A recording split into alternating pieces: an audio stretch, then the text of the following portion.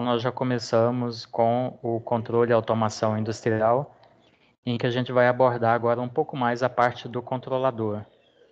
Nós vamos falar sobre as funções básicas do controle, que são a medição, a comparação e a correção. Falaremos ainda como que responde uma variável que está sendo controlada, tanto após uma mudança do set point, ou ponto de ajuste do controlador, quanto após uma perturbação, ou a presença de uma perturbação ou de um distúrbio no processo. E para isso nós precisamos entender o que, que se chama de dinâmica do sistema, que são as variações em um sistema tanto de malha aberta quanto de malha fechada ao longo do tempo, ou variações no tempo, e por isso então dinâmica do sistema, né? em referência à dinâmica em física, que é o estudo de diferentes sistemas no tempo, resposta de sistemas no tempo. E vamos falar também sobre a presença de atrasos na ação de um controlador. Então a gente vai pegar a, uma unidade de controle, tal qual essa mostrada aqui na figura, e, e dar uma atenção agora, então, a, em dois aspectos. Primeiro, na dinâmica do processo em si, e depois, posteriormente, uma, um, uma atenção especial sobre o controlador ou a unidade de controle.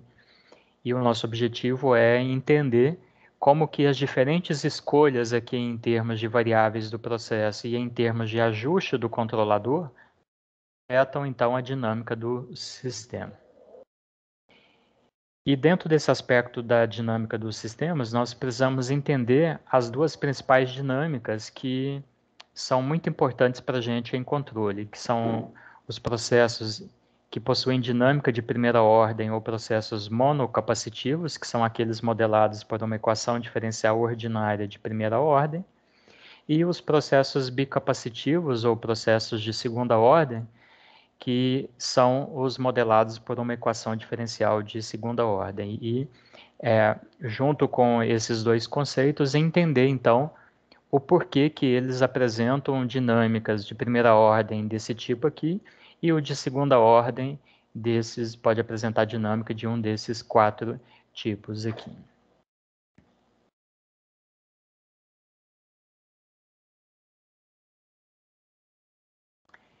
Então, como havia dito no resumo, o foco desse capítulo é a gente dar um zoom sobre o controlador. Aqui nesse processo que nós já temos abordado algumas vezes, de um, um controlador ou de um sistema de controle de nível, no qual nós temos um reservatório de água com uma entrada e uma saída, e nós estamos medindo o nível nesse reservatório, enviando essa informação para um controlador, que por sua vez envia a informação para uma válvula de controle, no caso a válvula de controle da vazão de entrada. E assim nós temos um sistema em malha fechada com controle automático. E é, nesse sistema, então, nós daremos um zoom ou uma atenção especial na unidade de controle, nesse caso aqui, então, um controlador de nível. Um controlador, então, ele tem a função ou a, o, é, o sistema de controle como um todo, né? não só o controlador, mas o sistema de controle como um todo, para que ele é, funcione, ele precisa de três ações principais: a ação de medição, a ação de comparação e a ação de correção. A ação de medição, então, ela vai ser efetuada pelo medidor, pelo sensor, no caso aqui, por exemplo, um sensor de nível, junto com um transmissor, já que a unidade de medida geralmente não está acoplada à unidade de controle, então nós vamos precisar de um transmissor para enviar a informação.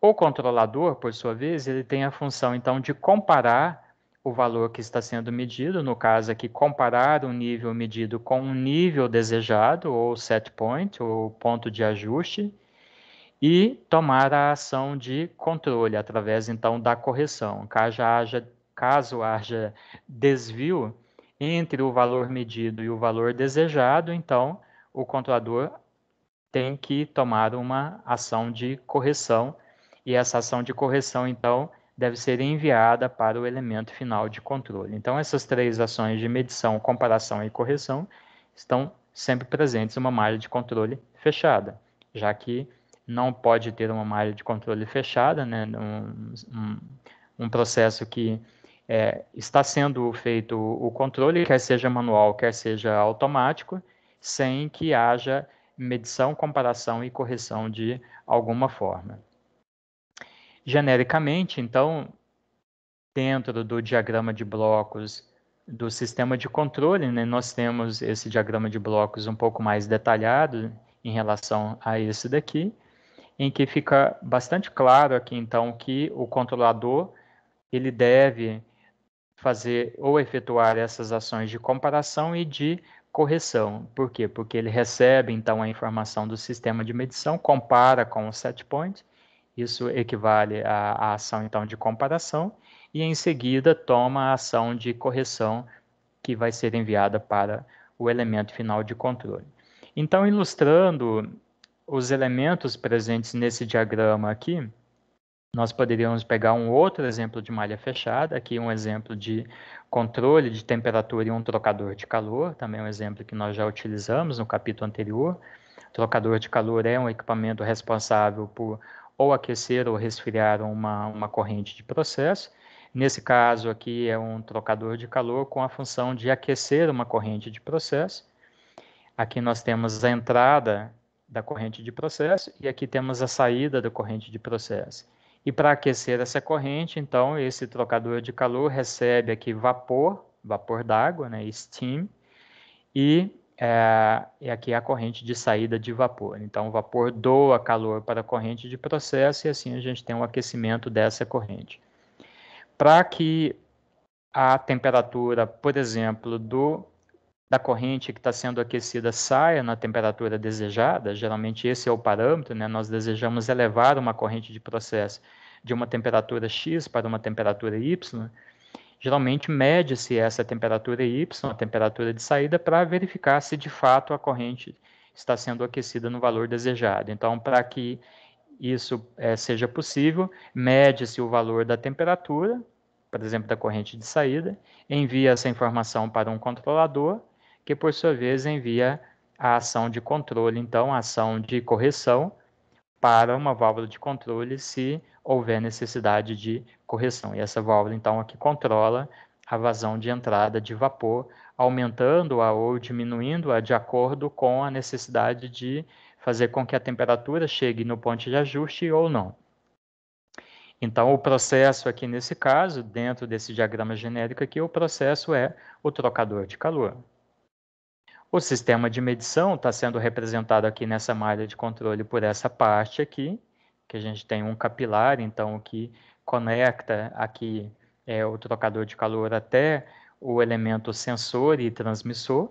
E essa, a, essa parte aqui geralmente vai ser desempenhada por algum dispositivo que tem mais ou menos essa, essa cara aqui, que a gente pode ver então aqui a, a, presença do capilar e é na parte interna aqui também o sensor de medição de temperatura e o transmissor, já que é um transmissor do, do tipo, um sensor do tipo cego. O sistema de controle ou o, o, o, controlador, melhor dizendo, né, falar controlador é melhor que sistema de controle seria tudo isso aqui. Então, o controlador em si, que aqui no PNDI, então, está representado então por esse, esse símbolo aqui, é um controlador e indicador de temperatura, tal qual esse que a gente está vendo aqui na figura, ou seja, ele tem a função de controlar a temperatura, mas também de indicar na sala de controle ou no painel principal, como a gente pode ver aqui pela pela legenda aqui do ícone, é, a, o valor da, da temperatura e aqui juntamente com o respectivo set point. Né? Então aqui a gente tem a variável de processo e aqui o valor do set point. Nesse caso aqui mostrando claramente um desvio entre o valor desejado e o valor atual, então havendo necessidade que o controlador tome uma ação de controle. É, em seguida, nós temos então o elemento final de controle, aqui no caso representado então por uma válvula pneumática. Essa válvula então vai receber a ação de controle do controlador na forma de um sinal elétrico. Aqui vai, vai ter uma conversão então de sinal elétrico para pressão, já que é uma válvula pneumática com acionamento pneumático, e assim ela vai então através desse mecanismo aqui, que nós detalharemos mais à frente no capítulo de elementos finais de controle, através então desse mecanismo ela vai manipular a vazão, aumentando ou diminuindo, nesse caso que é a vazão de vapor, para prover aqui a temperatura desejada para a corrente de processo. Então assim nós mostramos, né, através aqui de, de figuras, né, o, o que que é, o que que seria, por exemplo, cada um desses elementos aqui, né? O processo, nesse caso trocador de calor, sistema de medição, nesse caso sistema de medição de temperatura, controlador, nesse caso um controlador e indicador de temperatura, e o elemento final de controle, nesse caso uma válvula pneumática. Bom, apresentados então esses elementos que fazem parte então do sistema de controle com as funções de medição, comparação e correção, Antes de nós entrarmos na ação do controlador propriamente dita, a gente tem que entender muito bem o que se chama de dinâmica do sistema, ou seja, variações ao longo do tempo em um sistema, frente a duas coisas principais. Então, é interesse nosso estudar a dinâmica de um processo, a dinâmica do sistema, frente a uma mudança no set point, e também frente à presença de uma perturbação ou distúrbio no processo. Na primeira figura aqui nós observamos que quando nós mudamos aqui o set point ou o ponto de ajuste no controlador, aqui nesse caso representado por uma mudança de 0 para 1, um, então antes, é, no, em tempos negativos, era desejado que a variável de processo tivesse set point zero. A partir do momento do tempo zero, é, esse set point foi, set point foi alterado para 1. Um. Então, aqui, uma mudança do set point, de 0 para 1. Um. E aqui, como que a variável controlada está respondendo, então, ao longo do tempo. Então, isso é o que se chama de dinâmica, já que é a resposta ao longo do tempo, frente a uma mudança no set point. Aqui a gente observa que a variável de processo, ela sai, então, do nível inicial dela e tenta atingir o novo valor, o novo é, valor desejado para o set point, fazendo então, é, tendo então esse comportamento aqui passando um pouco e depois caindo até retornar e, já já a gente vai mostrar então através da matemática que está por trás da dinâmica do sistema por que que ocorre esse tipo de comportamento aqui. Porque que não necessariamente a variável simplesmente não sai daqui e não vem para cá de modo instantâneo ou uh, de modo mais, talvez mais bem comportado, fazendo aqui uma, uma exponencial com uma assíntota. Uma outra situação que afeta a dinâmica do sistema é a presença de uma perturbação ou de, ou de algum distúrbio no processo. Daí a gente vai falar então de rejeição da perturbação pelo sistema de controle ou rejeição então da disturbância. No primeiro caso aqui da mudança de set point, a gente fala é, em alcançar a referência. A referência, então, é o set point, é o ponto de ajuste, e ao pé da letra aqui seria é, perseguir, né, atingir essa referência, então, denotando então uma, uma dinâmica frente a uma mudança de set point. Nesse caso, então, a gente quer, quando há mudança no set point, quer que a variável de processo saia de um valor e vá para outro valor. Por exemplo, nesse controle de nível aqui, seria equivalente a gente falar: ah, tudo bem, o nível agora está em 40%, mas eu quero que ele vá para 50%. Isso seria uma mudança de set point. A outra outro fator que afeta a dinâmica do sistema é a presença de uma perturbação. Na perturbação, a gente não quer que o set point se altere. Então, aqui, por exemplo, a gente verifica que não tem mudança do set point, como no caso aqui que foi de 0 para 1. Aqui não, aqui a gente quer que o nível permaneça no mesmo valor, mas de repente há o quê? Há uma mudança na vazão de saída, por exemplo, há um furo no tanque, alguém está retirando o líquido desse tanque aqui com um balde, de repente cai um meteoro de 5 quilos dentro desse tanque. Todas essas possíveis ações aqui, a mudança na vazão de saída, furo no tanque, alguém retirando água do tanque com balde, etc., são coisas que perturbam, então, que poderiam perturbar o nível do tanque, aqui representando, representando então uma perturbação. A gente não quer que o nível se altere, mas alguma desses fatores aqui ocorreu, independente da nossa vontade. Então, isso é uma perturbação, isso é uma disturbância. E uma das finalidades do sistema de controle é justamente rejeitar esse tipo de disturbância, ou seja, fazer com que, apesar da ocorrência dessa perturbação ou dessa disturbância, o nível volte para o seu valor desejado. Então, por isso que aqui a gente vê ó, uma alteração para mais. Vamos supor que aqui ocorreu, é, alguém foi lá e fechou a válvula de saída aqui da, da corrente de saída do tanque. Então, fechou a válvula. Então, o nível do tanque vai aumentar, mas o sistema de controle vai atuar sobre a vazão de entrada para compensar esse fechamento da vazão da saída. Então, depois que o sistema de controle então toma a sua ação, o nível volta para o valor desejado. Então, ele reposiciona, por exemplo, a vazão de entrada para compensar aqui a vazão de saída que foi estrangulada. Mas isso leva um tempo, isso não é instantâneo. É justamente isso que nós desejamos estudar aqui e verificar por que, que o sistema de controle não responde de forma instantânea, de forma imediata. Ele leva um tempo para responder, tanto frente a uma mudança do set point, quanto frente à presença de uma perturbação ou, ou de uma disturbância. E por que que uh, se leva uh, esse tempo? Já já a gente vai uh, abordar isso. Então, a, a resposta para nós compreendermos esses, esses, esses diferentes tipos de comportamento está na análise do comportamento dinâmico do sistema de controle. E um dos principais pontos que nós temos que entender é a influência dos parâmetros de ajuste do controlador, isso é o que se chama de sintonia do controlador, como que essa influência afeta o comportamento dinâmico do, do sistema, já que o nosso assunto aqui é controle de processos, e um dos objetivos, então, é a gente verificar como que diferentes valores que vão, vão ser alimentados ao controlador vão afetar, então, a dinâmica do sistema.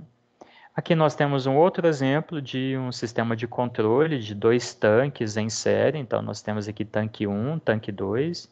O tanque 1 tem uma alimentação aqui de vazão F0, ele está numa altura H1. Ele está conectado com um tanque F2, um tanque 2. Entre eles aqui tem uma válvula que pode mudar, alterar aqui a vazão entre os tanques. O tanque 2 tem duas saídas, tem uma saída F2 também tem uma válvula nela aqui, e tem uma segunda saída F3. E no tanque 2, nós estamos medindo a altura então do tanque 2, enviando esse sinal para um controlador de nível e manipulando aqui, no caso, a vazão de entrada do primeiro tanque. Então, o objetivo é controlar o nível do segundo tanque e, para isso, manipular a vazão de entrada do primeiro. Então, a variável controlada é o nível no segundo tanque, é aquela variável que nós desejamos que ela fique num determinado valor. Para que isso ocorra, nós estamos manipulando ou alterando a vazão de entrada, F0. A variável medida nesse caso é a própria variável controlada, é o nível no segundo tanque. E uma possível perturbação nesse sistema, que é algo que ocorra que está fora do nosso controle, é algo que ocorre independente da nossa vontade, por exemplo, variações nessa vazão F3 aqui, representando então uma perturbação aqui no sistema, algo que tenta tirar o nível do segundo tanque no valor que nós desejamos que ele fique. Se nós alterarmos, por exemplo, o set point, ou ponto de ajuste aqui para o nível do segundo tanque, vamos supor de 40% para 50%, Vejam como que esse sistema de controle aqui, em particular, responde a uma mudança do set point. Então, aqui a gente está saindo também de um set point inicial, aqui no tempo zero, e, o, e, desejamos que a altura, então, do segundo tanque atinja um novo valor de referência, atinja um novo set point. Vejam que a resposta, então, também não é instantânea, e nesse caso aqui ele é oscilatória, oscilatória com amplitude decrescente, uma resposta bem diferente dessa daqui. Então, essas diferentes respostas está dentro do que a gente chama então de dinâmica de sistemas, como que os diferentes sistemas têm diferentes dinâmicas. Aqui nós temos um tipo de dinâmica frente a uma mudança de set point, de nível também, sistema de controle de nível. Aqui nós temos uma dinâmica já completamente diferente, embora seja também para um controle de nível, mas para um outro tipo de processo. E a gente vai verificar então por que, que ocorrem essas diferentes respostas dinâmicas.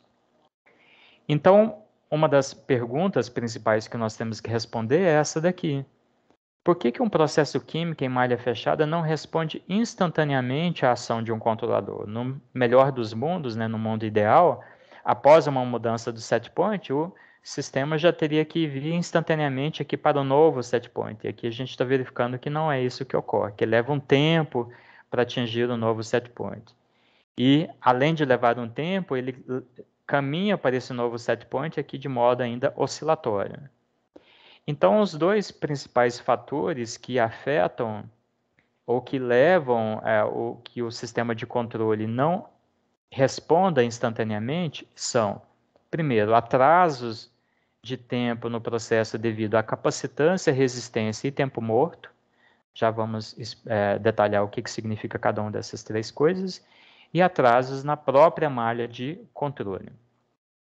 Aqui representando, então, atrasos, por exemplo, na medida, os, os sensores, eles levam tempo para entrar em equilíbrio com a, a variável que está sendo medida. Por exemplo, quando a gente vai medir a temperatura do nosso corpo utilizando um termômetro é, na boca ou debaixo da axila. A gente coloca um termômetro e tem que esperar um pouco para que ele entre em equilíbrio com a temperatura do nosso corpo. Os termômetros aí digitais, às vezes tem até um bipzinho que ele bipa, ele faz um barulhinho quando ele entra então em equilíbrio. Então ele leva um tempo para que a medida se equilibre é, com o valor medido se equilibre com o valor da temperatura do corpo que está sendo medido. Isso representa, um, por exemplo, um atraso no elemento sensor. Da mesma forma, pode haver atrasos na transmissão, atrasos no controlador, atrasos no sistema, no, no, elemento final de controle, tudo isso então é o que nós estamos chamando aqui de atrasos na malha de controle. Os atrasos devido ao processo em si são devido à capacitância, resistência e tempo morto. A capacitância é a, a capacidade que partes do processo têm de armazenar energia ou material. Por exemplo, se nós pensarmos num tanque,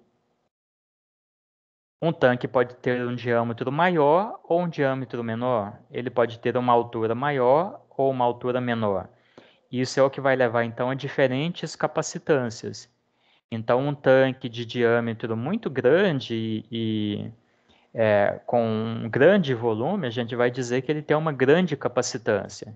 Ele tem uma grande capacidade de armazenar, nesse caso, matéria, mas a capacitância também poderia ser uma capacidade de armazenar energia. Né? Se nós compararmos a água, a areia, a água tem muito mais capacidade de armazenar energia do que a areia. Tanto é que nas regiões próximas a corpos d'água, né, regiões litorâneas, é, perto de lagos, etc., a temperatura fica muito mais estável. Num deserto onde predomina areia e tem pouquíssima água, nós temos o oposto. Como a areia tem uma baixa capacitância, uma baixa capacidade de armazenar energia, ela ganha muita energia durante o dia, a temperatura vai a um valor muito alto, mas perde essa energia rapidamente à noite e a temperatura vai a valores muito baixos. Então, isso é o que nós chamamos de capacitância de um sistema, é a capacidade que ele tem de armazenar energia ou matéria. Os processos, eles também têm resistências, que são as partes do processo que resistem a uma mudança tanto uma mudança de matéria quanto uma mudança de energia. Se nós voltarmos então aqui nesse, nesse processo, aqui as resistências vão ser o quê? Vão ser, por exemplo, a, a, a quantia que essa válvula aqui está aberta ou fechada. Quanto mais fechada ela estiver, isso vai representar uma maior resistência entre o tanque 1 e o tanque 2, ou seja, a mudança de nível aqui no tanque 2 vai sofrer mais resistência devido a uma válvula mais fechada em relação a uma válvula mais aberta. Se tivesse aqui um sistema de aquecimento, resistência de um sistema de aquecimento tem a ver com a facilidade ou dificuldade de transferir calor entre uma parte ou outra. Então, a resistência está relacionada às diferentes partes do processo que resistem a uma transferência de matéria ou de energia. E o tempo morto é o tempo verificado entre a ocorrência de uma alteração no processo e a sua percepção sensor. Então vamos pensar aqui também nesse exemplo aqui. Vamos supor que ocorreu aqui uma mudança aqui na vazão F3, uma perturbação aqui no sistema. Aumentou-se essa vazão aqui F3. Vai, vai demorar um, um certo tempo para que essa mudança de vazão se reflita na mudança de nível aqui no tanque 2. Isso então é o que nós chamamos de tempo morto do sistema. Então, é, é o tempo entre uma alteração no processo e, e o tempo para que essa alteração seja sentida, tanto no processo em si quanto pelo sistema de controle. Um outro exemplo, então, que nós poderíamos ilustrar aqui seria que um tanque demora a esvaziar por exemplo, porque tem uma área de seção transversal muito grande, então um tanque de diâmetro muito grande, então ele demora mais para esvaziar. Claro que isso depende da vazão de saída, mas aí, considerando uma vazão de saída em que ele demora para esvaziar, então nessa situação a gente vai dizer que ele tem uma alta capacitância. Ou ele possui uma válvula de saída subdimensionada, então ele demora a esvaziar ou porque ele tem uma alta capacitância, por exemplo, um, um diâmetro muito grande, ou a válvula de saída dele está sub, subdimensionada, ou seja, deixa passar uma quantia de líquido muito, muito pequena, então ela tem uma alta resistência. Ou ainda, ele usa um sensor de medição de nível cujo tempo de resposta é muito lento. Então, representando então um alto tempo morto, né? Então aqui a gente tem a presença desses dessas três grandezas aqui, ó, num tanque: capacitância, resistência e tempo morto. Então, ou ele tem um diâmetro muito grande, alta capacitância, ou a vazão, a válvula de saída dele é subdimensionada, então tem uma alta resistência, ou o sensor de medição de nível dele ele demora muito para entrar em equilíbrio para ler a variável nível, então um alto tempo morto. E percebam então capacitância, que pode ser mássica, térmica, inércia, resistência e tempo morto advém das escolhas ligadas aos materiais, às dimensões, às vazões, etc. Então, tem a ver com as características intrínsecas do sistema. E diferentes escolhas, então, ligadas aos materiais, às dimensões e às vazões, vão levar a diferentes capacitâncias, resistências e tempos mortos. Né? Então, ainda nesse, nesse tanque aqui, nós temos então que a capacitância vai ser representada pelos volumes dos dois tanques aqui, as resistências aqui, por exemplo, dessa válvula aqui entre os dois tanques, ou dessa válvula de saída, e o tempo morto, então, a diferença de tempo entre a ocorrência de uma e o sistema de medição de nível aqui enxergar é, essa é, perturbação. Então, sabendo que os processos em geral eles possuem então, diferentes capacitâncias, diferentes resistências e diferentes tempos mortos, e isso afeta cada uma dessas três grandezas aqui afeta a dinâmica do, do, do sistema. Por exemplo, uma alta resistência, uma alta capacitância e um tanque com um diâmetro muito grande, variações da altura desse tanque com o tempo geralmente vão ser lentas comparadas com um tanque de diâmetro menor que alterações na altura do tanque com o tempo geralmente vão ser mais rápidas, então levando a diferentes dinâmicas. Essas diferentes dinâmicas que os sistemas, que os processos químicos podem apresentar, elas podem ser de dois tipos principais. Então, a gente vai chamar de processo monocapacitivo ou processo de primeira ordem, quando um processo, então um equipamento ou sistema de controle, etc., processo é, que poderia ser também chamado genericamente de sistema, processo quando a gente fala mais especificamente de processos químicos, né, um tanque, um trocador de calor, uma torre de destilação, o processo como um todo, e o sistema, quando geralmente já engloba o sistema de controle junto. Então, quando um processo ou um sistema é modelado por uma equação diferencial ordinária, uma EDO de primeira ordem, temos lá do cálculo, né, uma EDO de primeira ordem, aqui a gente tem uma EDO de primeira ordem com coeficientes constantes. Uma EDO de primeira ordem, então, é uma, é uma equação na qual tem a presença derivada, então por isso que é uma equação diferencial, essa derivada, ela, numa equação diferencial ordinária, então é a presença de derivada em relação apenas a uma variável independente, então não é uma equação diferencial parcial, é uma equação diferencial ordinária. E ela é de primeira ordem porque é a ordem, é a mais alta ordem da derivada presente nessa equação. Nesse caso aqui, a gente só tem uma derivada e a ordem dela é 1, então uma derivada de primeira ordem. Por isso, então, ela é uma equação diferencial ordinária de primeira ordem. Então, é uma equação que tem uma derivada presente nela, essa derivada é em relação a somente uma variável independente, por isso que ela é ordinária, e temos apenas derivada primeira, então por isso que ela é de primeira ordem. Lá do cálculo, nós aprendemos que uma EDO desse tipo aqui, então uma EDO de primeira ordem de coeficientes constantes, tem como solução equação, uma equação desse tipo aqui, uma exponencial.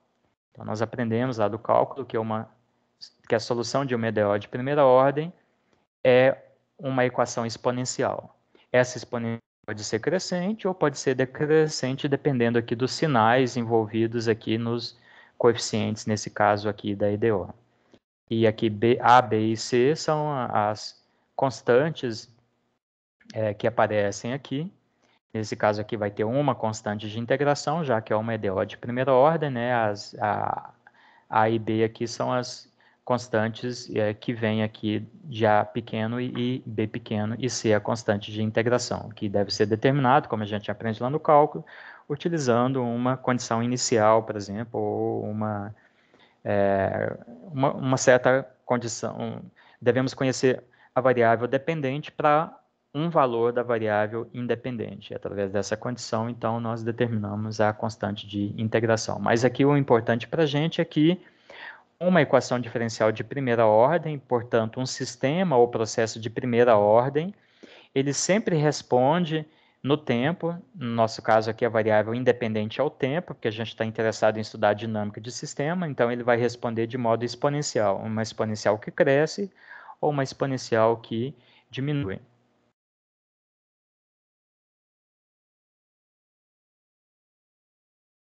Um exemplo da engenharia química, exemplo de um processo da engenharia química é um tanque que está sendo aquecido com uma serpentina.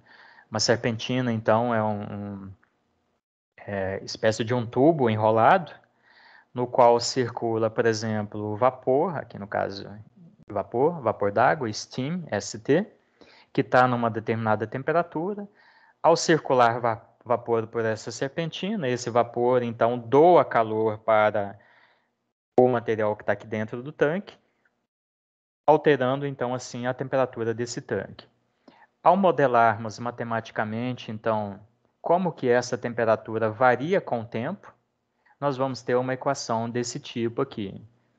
Então, a variação da temperatura com o tempo representado então por uma derivada primeira, isso vem do balanço de energia, como nós aprendemos lá em fenômenos de transporte, né?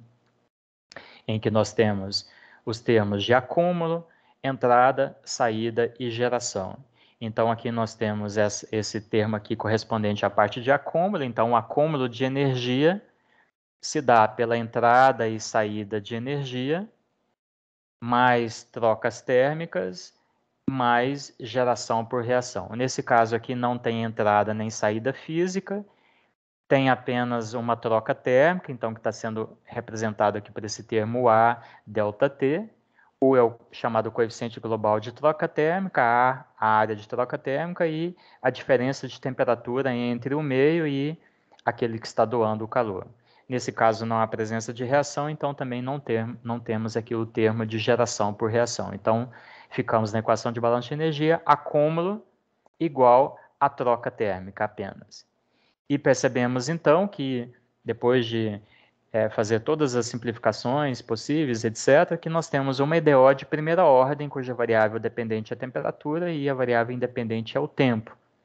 Portanto, se há uma EDO de primeira ordem, nós já sabemos que o comportamento dinâmico de um processo desse tipo aqui, ou seja, a variação da temperatura dentro do tanque com o tempo, vai ser ou uma exponencial crescente ou uma exponencial decrescente. Ou seja, a temperatura nunca vai variar de acordo com esse modelo aqui, fazendo, por exemplo, uma oscilação, uma senoide, ou qualquer outro tipo de comportamento. Vai ser sempre um comportamento exponencial, porque a solução de uma EDO de primeira ordem sempre leva a uma equação exponencial, uma EDO de primeira ordem desse tipo aqui, coeficientes constantes, uh, etc.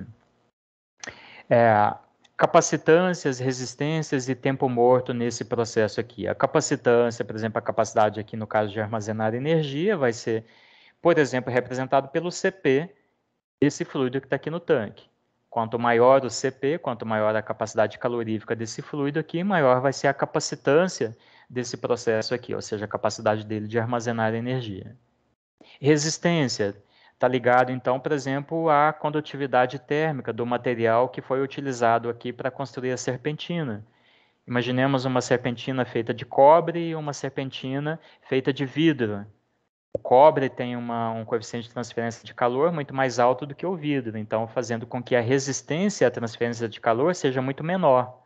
Quanto maior a condutividade térmica, mais calor se conduz, menor a resistência e vice-versa. Tempo morto é, poderia ser representado, por exemplo, a mudanças na temperatura aqui do vapor, quanto tempo que mudanças na temperatura do vapor vai, vai, ser, vai se demorar para que ela seja sentida aqui no meio, aqui dentro do tanque. Então, pode ter mudanças e elas serem sentidas mais rápidas ou mais lentas. Isso tem a ver, então, com tempo morto. Um segundo exemplo de processo monocapacitivo ou processo de primeira ordem é um tanque agitado a volume constante, no qual a variação de massa de um soluto de uma solução com o tempo. Então, um tanque deste tipo aqui, utilizado aí é, para fazer dissolução, por exemplo, preparação de soluções ou preparação, por exemplo, de, de, de, cosméticos, de material de limpeza, etc., em que a gente tem apenas a variação de, de massa no, no tanque. Então, pode ser um tanque desse tipo aqui, com uma entrada e uma saída. E também realizando, uh, nesse caso aqui, um balanço de massa, né, nós teremos termos de acúmulo, então acúmulo de massa com o tempo aqui dentro do tanque, representado por esse termo que é derivada da massa com o tempo. Entrada e saída, então nós vamos ter acúmulo é igual a massa que entra menos a massa que sai, mais a massa devido à reação. Nesse caso aqui nós temos a presença de uma reação. Então esse termo aqui tem a ver com acúmulo, aqui entradas e saídas, e aqui com a reação. Como nós podemos observar aqui, também se trata de uma EDO de primeira ordem. Ela vai ser de coeficientes constantes ou não, a depender do, se essas coisas aqui são é, constantes ou não. É, aliás, é, falei uma coisa equivocada aqui, é que não tem presença de reação. Esse R aqui é a vazão de entrada, que também é igual à vazão de saída, e o C0 aqui é a concentração de entrada. Então, não tem reação. Então, nós temos apenas aqui acúmulo, massa que entra, então representado por isso aqui, e massa que sai, representado por esse termo aqui.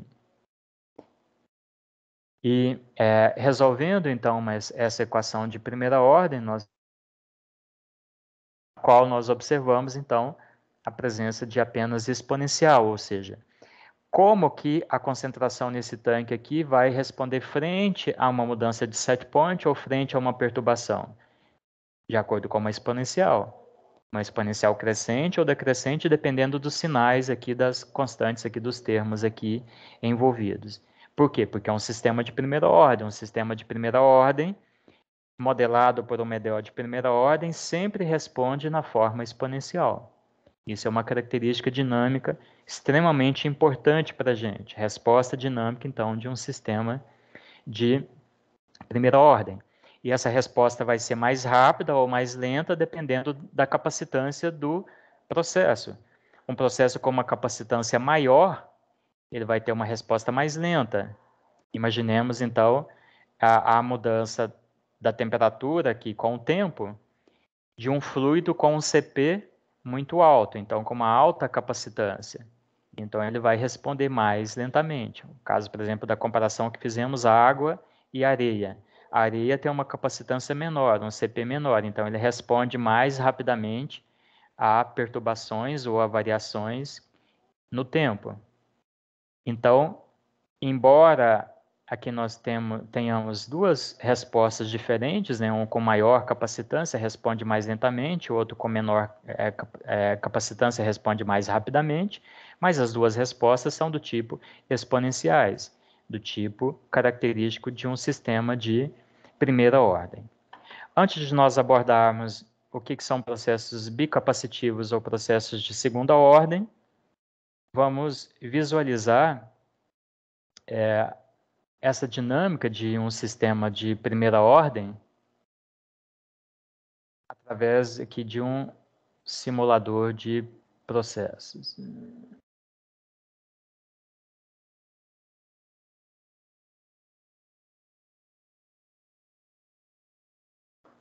Esse simulador de processos aqui, ele se chama SimView.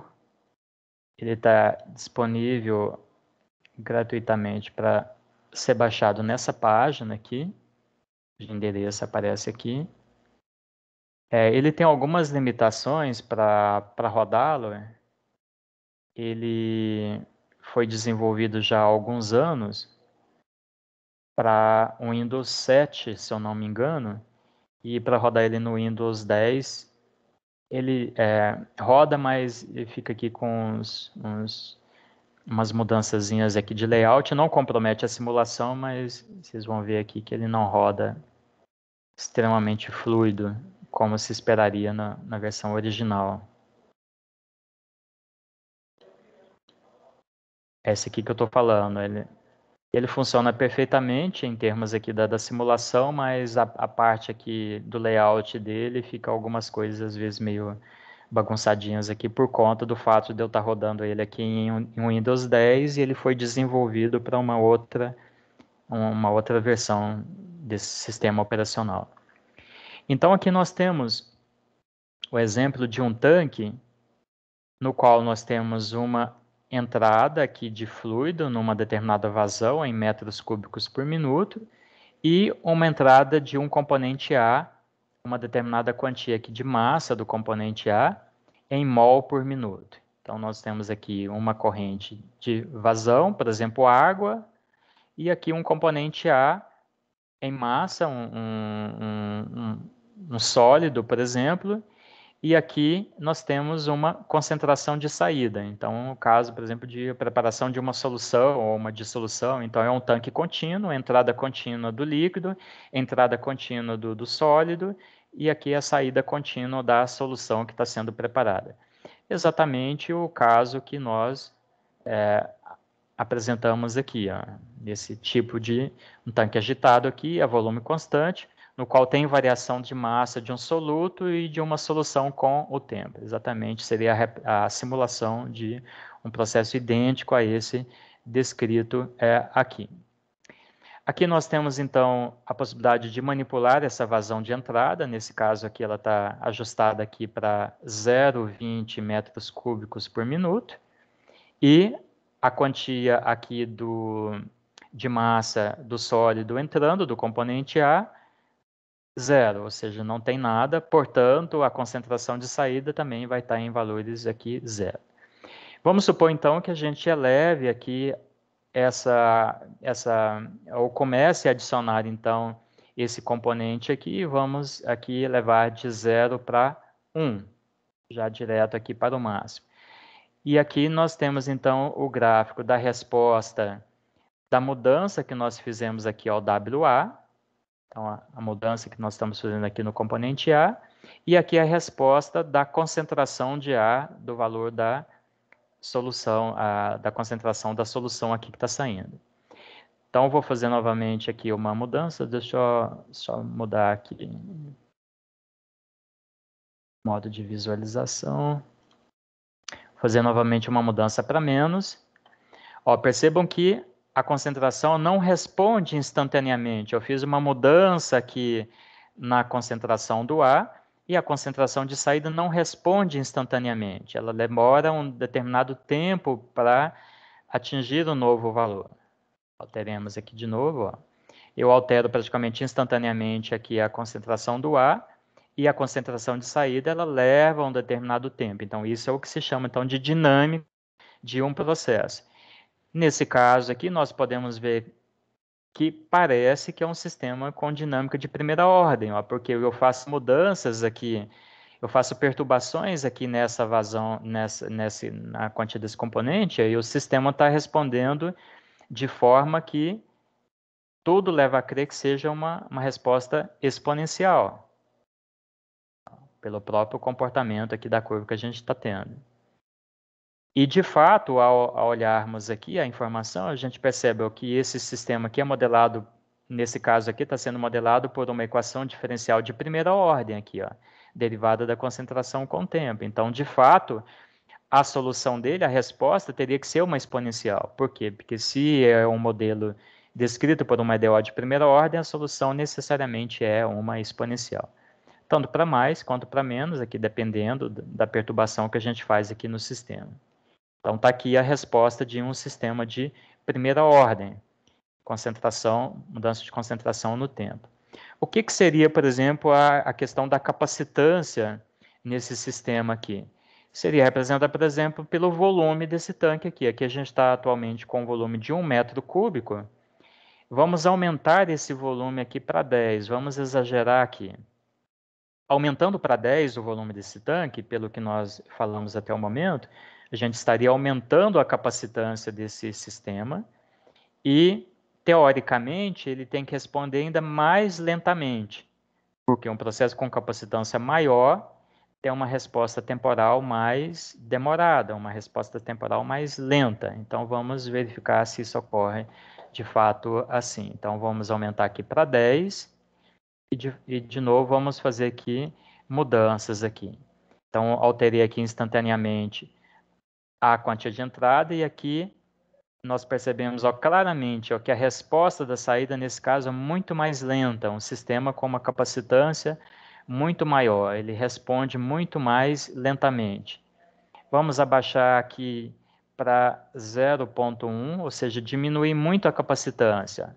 E a resposta é muito mais rápido. Então, quanto maior a capacitância do processo, vamos dar novamente uma perturbação aqui, quanto maior a capacitância, mais lentamente ele responde.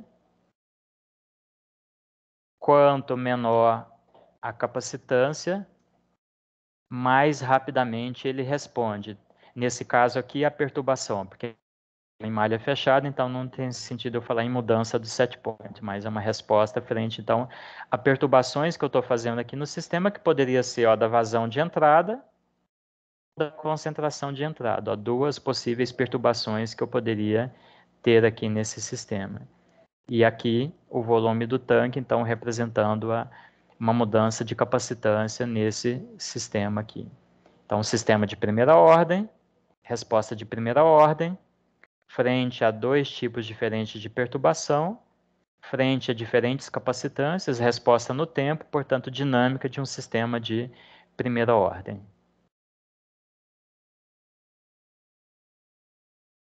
Se houver, houver alguma dúvida, alguma pergunta, podem colocar no, no chat aí.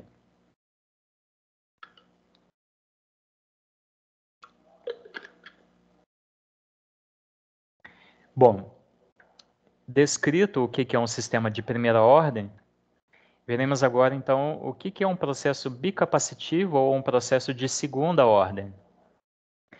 Da mesma forma que um sistema de primeira ordem é aquele modelado por uma EDO de primeira ordem, um sistema ou um processo de segunda ordem é aquele modelado por uma equação diferencial ordinária de segunda ordem. Um exemplo que nós temos difusão e reação de um componente gasoso em um líquido. Isso é um processo é, usado, por exemplo, no adoçamento do gás natural, usando aminas e colunas de absorção. essas colunas aqui, então, as colunas de absorção. A gente tem a presença de gás injetado na parte inferior, por exemplo, gás natural, um gás natural que contém H2S, ácido sulfídrico, que é um componente que deve ser removido, porque é um, um grande poluente e também corrosivo. Então, para remover esse H2S do, do gás natural, uma opção qual que é? injetar o gás natural com H2S aqui no fundo dessa coluna e na parte superior da coluna adicionar um componente que tem afinidade com H2S, por exemplo, uma amina. Esse líquido, então, que é a amina, vai descer por gravidade ao longo dessa torre, o gás vai subir naturalmente, porque tem, eh, tem a tendência a, a procurar, a, por ter uma densidade menor, né, a se elevar, e à medida que ele vai subindo e o líquido vai descendo, o que, que acontece? O H2S vai sendo absorvido pela amina e sendo reagido com a amina. Então é isso que a gente está falando de difusão e reação. O H2S ele vai difundindo através do filme líquido da amina e vai reagindo também. Como nós temos difusão e reação, fazendo também o balanço de massas, Nesse caso aqui, a gente está considerando um processo no estado estacionário, então não tem acúmulo. A gente vai ficar, então, é, a, apenas com os termos de entrada, saída e reação. E fazendo o balanço de massa, como a gente aprende lá em fenômenos de transporte, nós vamos ter uma derivada de segunda ordem da concentração com a posição para representar a difusão. Os termos difusivos sempre são representados por derivadas de segunda ordem, por quê? Porque é uma variação na posição do fluxo. O fluxo, por sua vez, já é uma derivada de primeira ordem, então fica a derivada da derivada levando a uma derivada segunda. E aqui nós temos então o termo de reação, constante da reação, vezes a concentração, uma reação de primeira ordem. Então nós temos ó, que, o que chega de H2S, por exemplo, na, na amina por difusão, vai reagir. Então, difusão igual a reação. Se nós observarmos essa EDO, trata-se segunda ordem, comparando com a equação genérica de uma EDO de segunda ordem, na qual a gente tem, então, termo de segunda ordem, não tem derivada primeira, nesse caso aqui seria equivalente a um azinho igual a zero aqui, e o termo aqui apenas com a variável dependente. Um outro exemplo de sistema de segunda ordem. Então, aqui nós temos um exemplo de sistema de segunda ordem inerentemente de segunda ordem. O que é um sistema inerentemente ou intrinsecamente de segunda ordem? É um sistema que ele, quando a gente faz o balanço de massa e energia, já aparece uma derivada de segunda ordem. Por exemplo, todas as vezes que temos processos difusivos. Sempre vai aparecer uma derivada de segunda ordem com a presença de processos difusivos, quer seja difusão de massa, difusão de calor ou difusão de quantidade de movimento. Um segundo exemplo da presença de sistema de segunda ordem é quando nós temos dois sistemas de primeira ordem em série. O que, que isso significa? Por exemplo, um tanque agitado com aquecimento elétrico. Aqui então nós temos um tanque com agitador, com uma entrada e uma saída, e uma resistência elétrica que doando calor para esse tanque aqui, com o objetivo, por exemplo, de aquecê-lo. Ao fazermos o balanço de massa aqui no tanque, aliás, o balanço de energia, corrigindo, o balanço de energia aqui nesse tanque, para o fluido aqui do tanque, nós vamos ter aqui essa equação acúmulo de energia é igual a energia que entra, então acúmulo de energia é igual a energia que entra, energia que sai, energia trocada. Ao fazermos o balanço de energia aqui na, na, no, na parte de aquecimento, na serpentina, vamos ficar também da mesma forma. Acúmulo de energia é igual a energia que entra,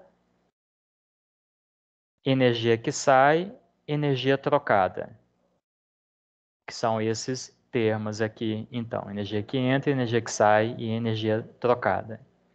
Se nós observarmos aqui essas duas equações, então, que são duas EDOs de primeira ordem, o tempo é a única variável independente nas duas, temperatura do fluido aqui e a temperatura da serpentina são as duas variáveis dependentes.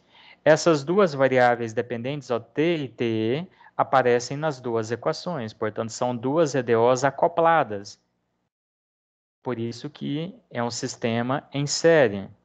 Então a gente vai dizer aqui ó, que dois sistemas em série de primeira ordem, ó, dois sistemas em série de primeira ordem, como eles são acoplados, então eles estão em série, leva a um sistema de segunda ordem. Por quê? Porque nós poderíamos, por exemplo, isolar TE nessa primeira equação, substituir aqui na segunda. Quando isolamos TE na primeira equação, ó, vai ter uma derivada nessa, nessa equação isolada aqui. Ao substituir aqui, vai ficar derivada da derivada. Simplificando aqui, fazendo os nove fora, noves fora, a gente vai ter então essa equação aqui, que é uma EDO então de segunda ordem para a variação da temperatura no tempo. Uma única equação que representa representaria essas duas aqui, ó, nessa estratégia de isolar T e substituir aqui para a gente transformar um sistema com duas equações no sistema de uma única equação em que observamos que trata-se então de uma EDO de segunda ordem, nesse caso aqui, se os valores aqui de CP, massa, etc., forem constantes, uma EDO de segunda ordem a coeficientes constantes. Então, a primeira situação que nós tínhamos, um sistema de um, um, um sistema, um processo de segunda ordem, um sistema que é inerentemente ou nativamente de segunda ordem, presença, por exemplo, de difusão. Aqui agora um sistema de segunda ordem, não porque ele é inerentemente de segunda ordem, mas é porque a gente tem dois sistemas de primeira ordem em série. E a matemática nos mostra que dois sistemas de primeira ordem em série resultam num sistema de segunda ordem. E quais são as possíveis respostas para um sistema de segunda ordem? Quer seja ele nativamente de segunda ordem, quer seja ele dois sistemas de primeira ordem em série. Então, lá do cálculo, e aqui a gente tem que recordar lá um pouquinho do cálculo diferencial integral, então, creio que cálculo 3, que vocês estudam a equação diferencial, é isso mesmo? Então, lá no cálculo que estuda equação, equações diferenciais, a gente tem que uma EDO de segunda ordem, é, o procedimento de solução dela, quando é uma EDO de coeficientes constantes, perpassa por nós construirmos a chamada equação característica, que é uma equação algébrica que a gente monta a partir dos coeficientes da EDO de segunda ordem, então aqui é o Azinho e o Bzinho, são os dois coeficientes, a gente monta uma equação do segundo grau, nessa variável R aqui, e a depender do discriminante dessa equação do segundo grau, então a depender aqui do delta, se ele é positivo, zero ou negativo, nós temos, então, três casos distintos para soluções dessa IDO de segunda ordem. Nós podemos ter, então, os casos que as raízes da equação característica são reais e diferentes, se o discriminante, então, for maior do que zero. Duas raízes reais iguais, se o discriminante for igual a zero e duas raízes complexas e conjugadas se o discriminante for menor do que zero, já que o R é calculado, como a gente aprende lá desde o ensino é, fundamental, através dessa equação aqui. E cada um desses três casos aqui vai levar a respostas distintas da IDO de segunda ordem. O primeiro caso, então, em que o discriminante da equação característica é maior do que zero, duas raízes reais e diferentes, R1 e R2. R1, R2, as duas raízes da equação característica, reais e diferentes. Essa é a resposta que nós temos para EDO de segunda ordem, duas exponenciais, que vão ser exponenciais então crescentes ou decrescentes, a depender aqui dos sinais envolvidos aqui nas constantes. Segundo caso, as raízes da equação característica são reais e iguais, o delta é igual a zero. Nesse caso aqui, se as duas raízes são reais e iguais, a gente tem que esse termo aqui é, é linearmente dependente desse termo aqui, e para que os dois termos fiquem linearmente independentes, a gente tem que multiplicar um deles pela variável independente, variável x. Então, por isso que essa é a resposta para uma EDO de segunda ordem, no caso de raízes reais e iguais. Mas ainda assim é uma exponencial, embora o segundo termo aqui seja uma exponencial multiplicada pela variável independente. Daí muda um pouquinho o comportamento da resposta. Aqui era puramente exponencial, aqui é um exponencial multiplicado por esse termo aqui multiplicativo aqui, mas ainda assim lembra um tipo de exponencial. Terceiro caso, que é o caso mais interessante, é o caso que vai ter mais influência, talvez, em controle de processos.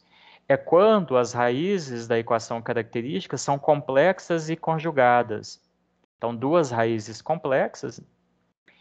Daí nós temos, então, que a solução da EDO de segunda ordem para esse caso envolve exponencial e seno e cosseno, quando as raízes são complexas. E aqui nós temos então quatro possíveis respostas dinâmicas a um sistema de segunda ordem com raízes complexas e conjugadas da equação característica. Quais são esses quatro tipos?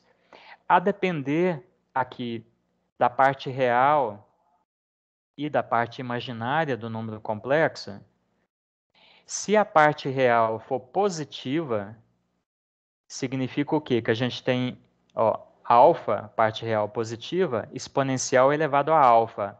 Exponencial de um número positivo cresce sempre. É essa situação aqui. Ó.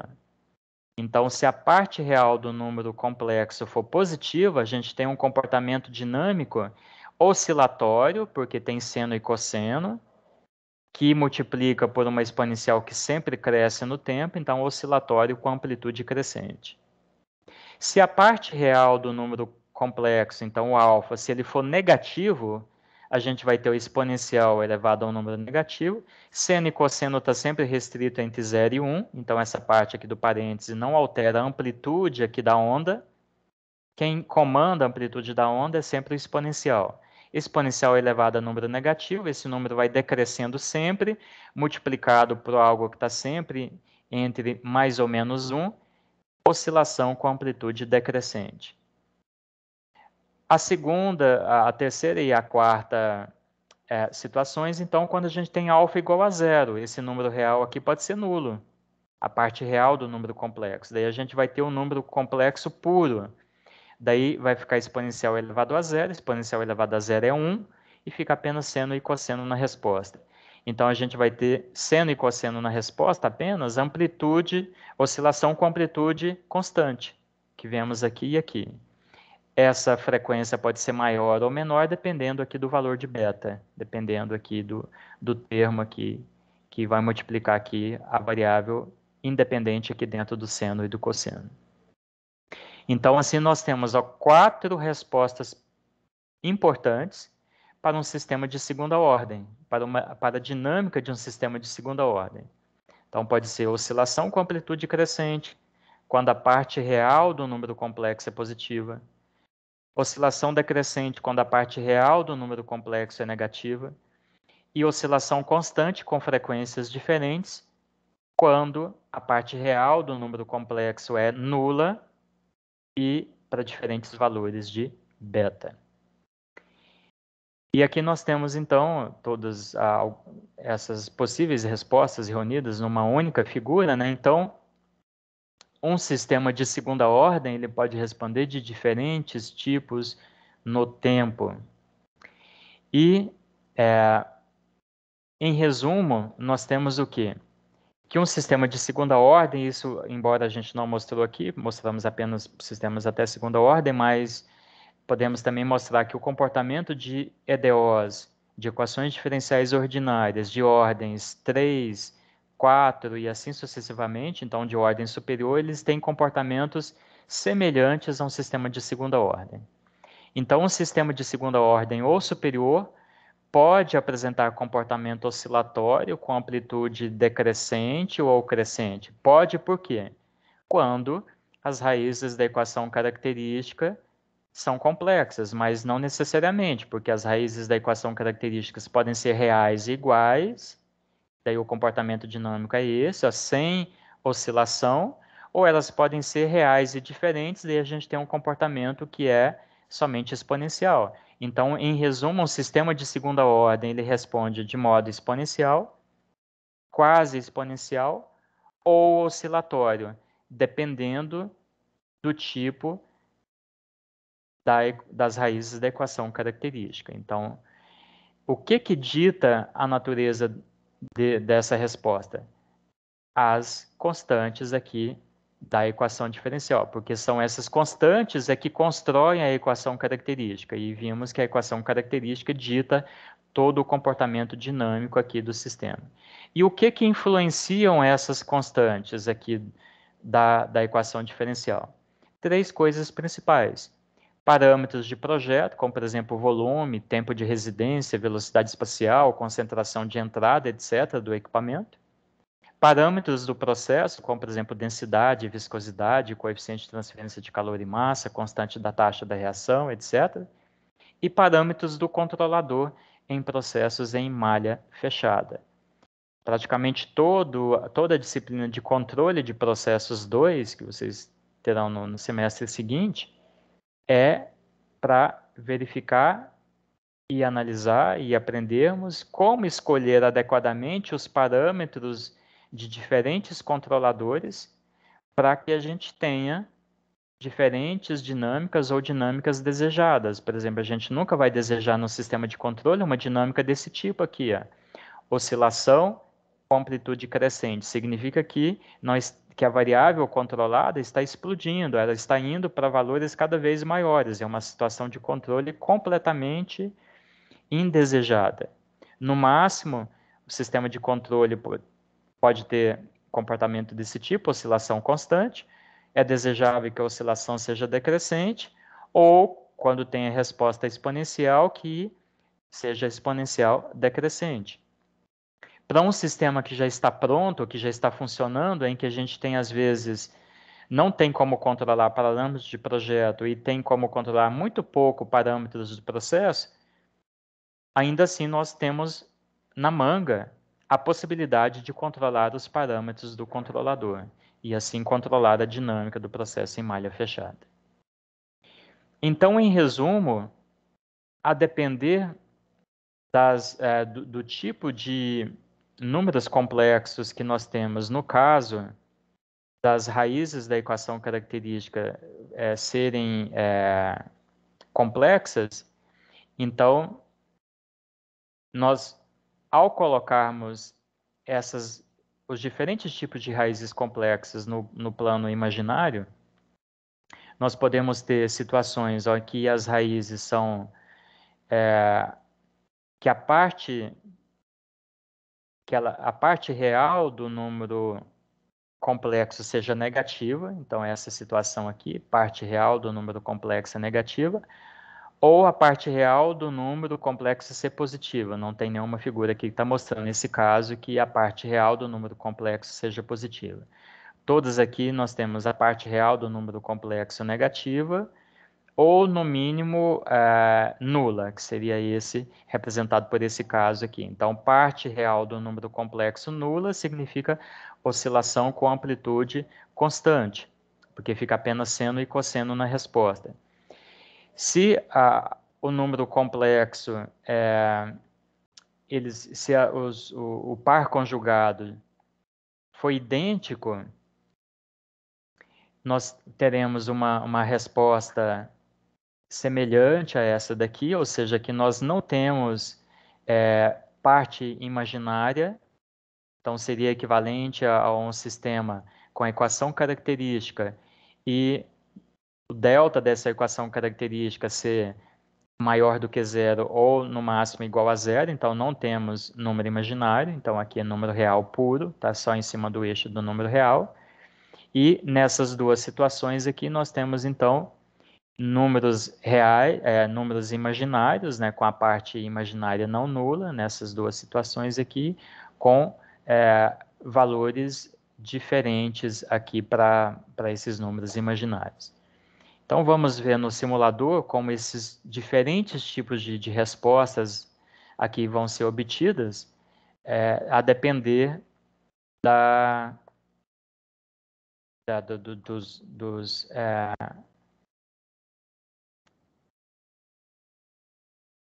dos tipos de raízes que nós tivermos.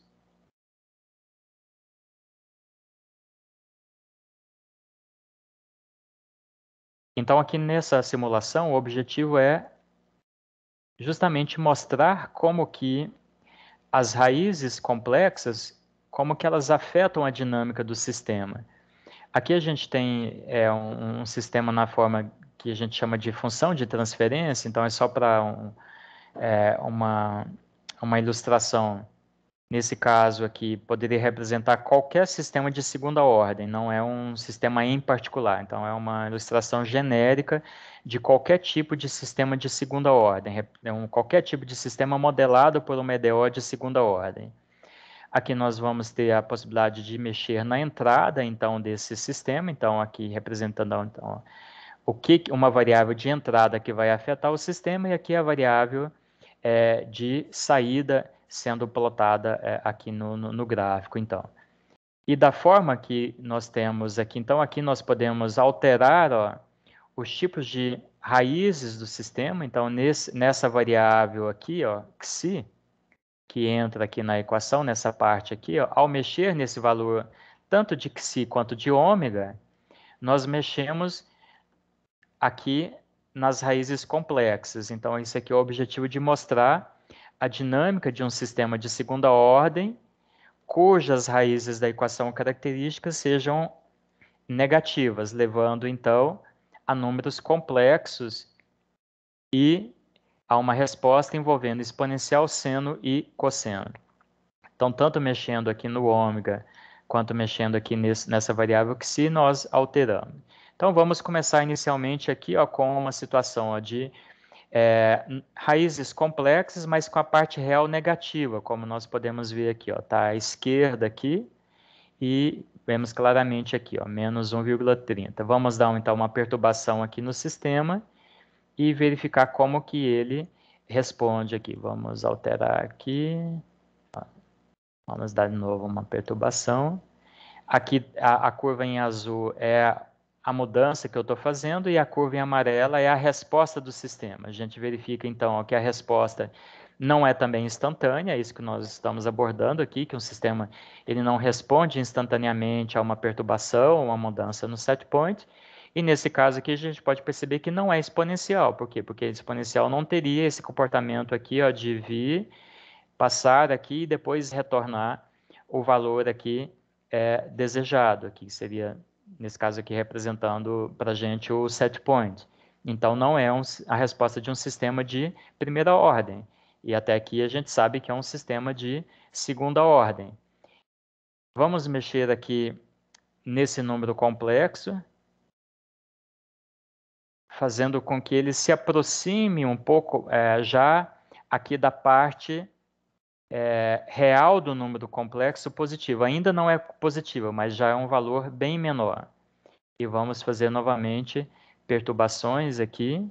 Verificamos ó, que ele fica muito mais oscilatória, a resposta fica muito mais oscilatória, à medida que aqui ó, que a parte real do número complexo diminui.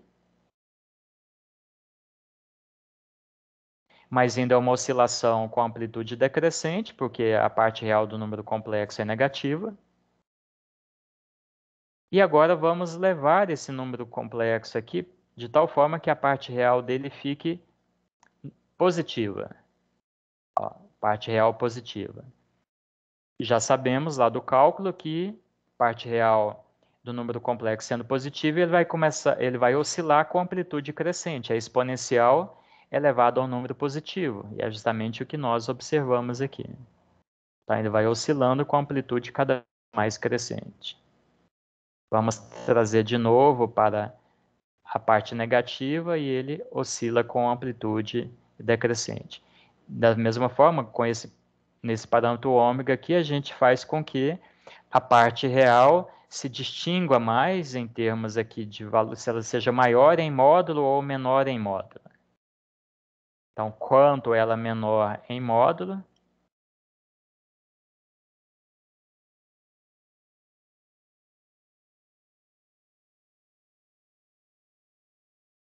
Vamos reescalonar aqui. Ah, valor pequeno em módulo.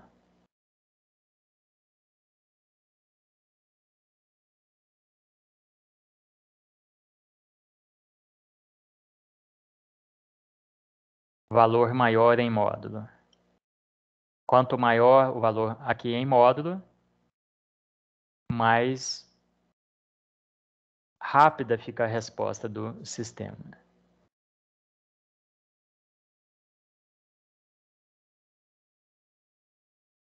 Um outro exemplo no qual dois sistemas de primeira ordem em série resultam num sistema de segunda ordem, mesmo em malha aberta, é a situação em que nós temos dois tanques em série, como nós já havíamos mostrado lá atrás. E aqui mostrando então por que, que dois tanques em série resulta num sistema de segunda ordem, mostrando através de equações. Então aqui a gente tem o balanço de massa para o primeiro tanque, o acúmulo é igual ao que entra, menos o que sai, aqui não tem reação.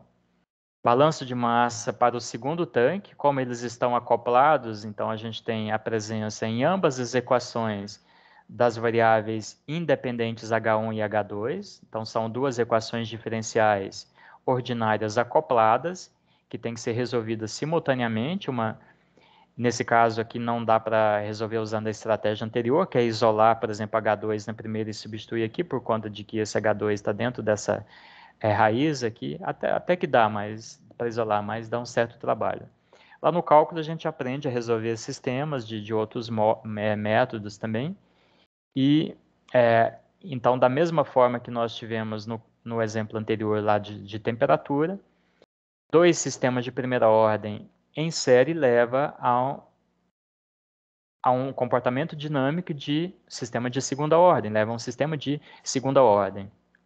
E aqui mostrando, então, a resposta desse sistema aqui, ó, da altura em função do tempo para diferentes coisas ocorrendo aqui. E, de novo, a gente verifica, então, que não é um comportamento exponencial. Por quê? Porque não é um sistema de primeira ordem, é um sistema de segunda ordem, que pode apresentar uma resposta semelhante a uma exponencial, mas também uma resposta já mais oscilatória, como nesse caso aqui, uma oscilação, embora com amplitude decrescente, mas um comportamento é, nitidamente oscilatório. Então, isso é característica de um sistema de segunda ordem.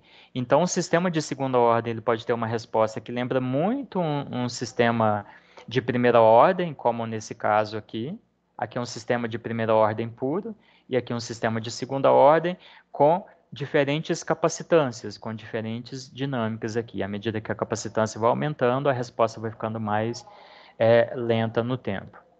Aqui nos slides eu deixo aqui alguns links em que vocês podem abrir é, alguns exemplos aí na, na internet em que pode simular sistemas de segunda ordem, semelhantes a esse que eu estou apresentando aqui, com a diferença que você não precisa instalar nada no computador, você simula simplesmente acessando aí páginas da internet. Então, são muito úteis para ver respostas de sistemas de segunda ordem, é, como que o sistema de segunda ordem responde a um degrau ou a um impulso, ou seja, perturbações, e, e assim por diante. O último aqui apresenta também os dois últimos aqui vídeos de sistemas de controle com quatro tanques, com dois tanques, então interessante para vocês verem isso que nós estamos é, falando aqui, mostramos em termos de figura nos slides, nos vídeos aí vocês podem ver isso ocorrendo na prática.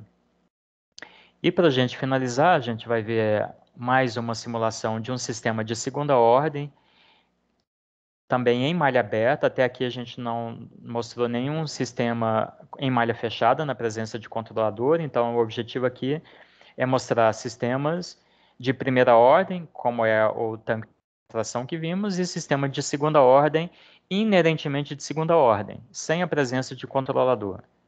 A gente vai ver na aula da semana que vem que a presença do controlador transforma qualquer sistema de primeira ordem em um sistema de segunda ordem. Então, em malha fechada, não existe sistema de primeira ordem. Por quê? Porque o processo em si ele vai ser no mínimo primeira ordem.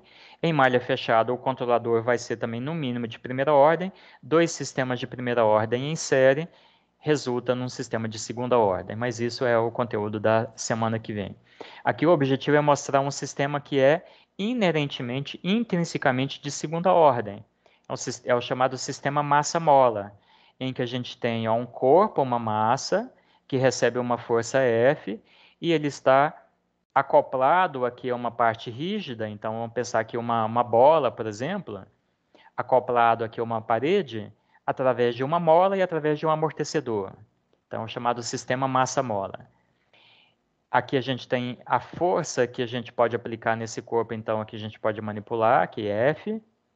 A massa desse corpo, aqui através desse botão aqui a gente pode variar a massa. Podemos variar aqui a constante da mola e a constante de amortecimento desse sistema aqui.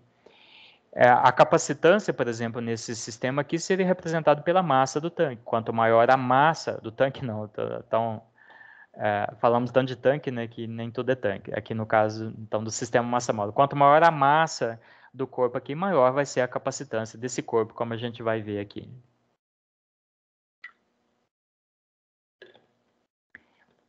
E as resistências aqui poderiam ser, por exemplo, a, a, constante da mola e a, a constante aqui de amortecimento aqui no caso D.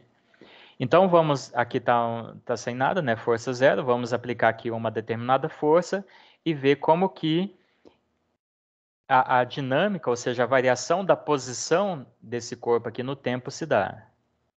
Então apliquei uma força, uma força muito grande, ficou um pouco parado lá e vai ficar, ficar uma força um pouco menor. Ó, então, um comportamento oscilatório. Sistema oscila, embora com amplitude decrescente. Nova perturbação.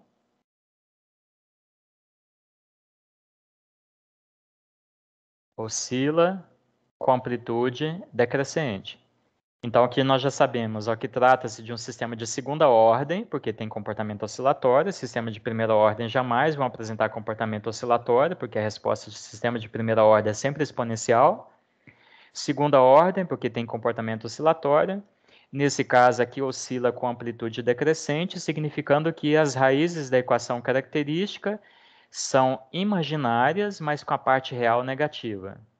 Vamos brincar um pouco aqui com os parâmetros, vamos deixar esse sistema com uma capacitância um pouco maior, aumentando a massa dele, mais pesado. Então, vou dar novamente perturbações.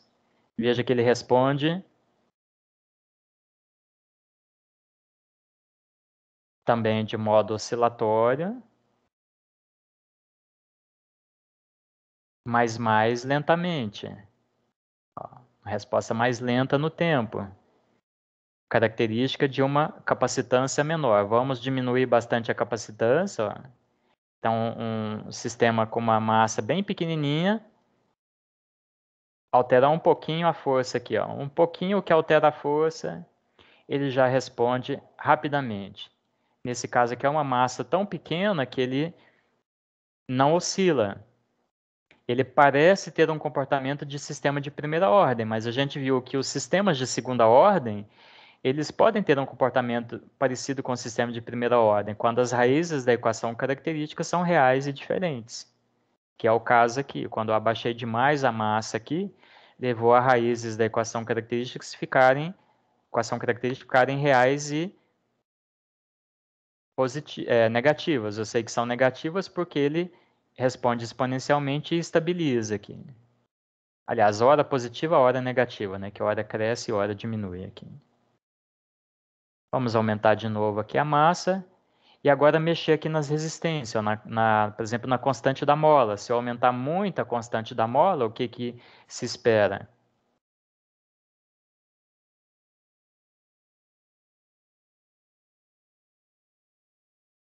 Que ele também oscile um pouco mais.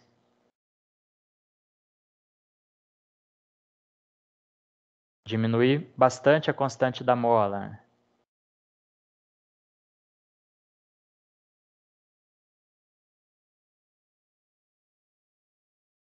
Da mesma forma, se eu mexer na constante de amortecimento, diminui ela bastante. O sistema fica muito mais oscilatório. Quanto menor o amortecimento, mais oscilatório. Então, de novo, um exemplo de como que parâmetros do processo afetam a dinâmica do processo. Aqui o amortecimento está quase nulo. Se eu colocar ele nulo, fica oscilatório com amplitude constante. significando então que agora eu tenho uma equação característica com raízes complexas e a parte real do número complexo é nula. Vou tirar a parte real do número complexo de zero. Então, mexi na constante D, oscilação com amplitude decrescente. Então, é um exemplo de segunda ordem, inerentemente de segunda ordem, e aqui claramente a gente vê então a, a, como que os diferentes parâmetros desse sistema afetam a dinâmica do sistema, afetam o comportamento dele, nesse caso aqui a posição, ao longo do tempo.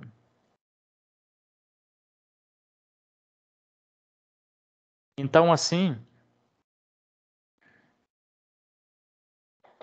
nessa aula, o que, que nós abordamos? As funções básicas do controle, que são medição, comparação e correção, como responde uma variável que está sendo controlada após uma mudança no set point e a uma perturbação ou disturbância no processo. Vimos que a dinâmica do sistema é a variação dele no tempo e que há diversos tipos de atraso, como por exemplo na ação do controlador, e vimos como que diferentes sistemas respondem de modos diferentes no tempo. Sistemas de primeira ordem ou processos de primeira ordem ou monocapacitivos, que são modelados por uma EDO de primeira ordem, responde sempre de modo exponencial, e sistemas de segunda ordem ou bicapacitivos, modelados por uma EDO de segunda ordem, pode responder de diversos tipos de comportamento que vai desde uh, que lembra o exponencial até oscilatórios com oscilação crescente ou decrescente, é, a depender então das raízes da equação característica envolvida associada à EDO de segunda ordem desse processo.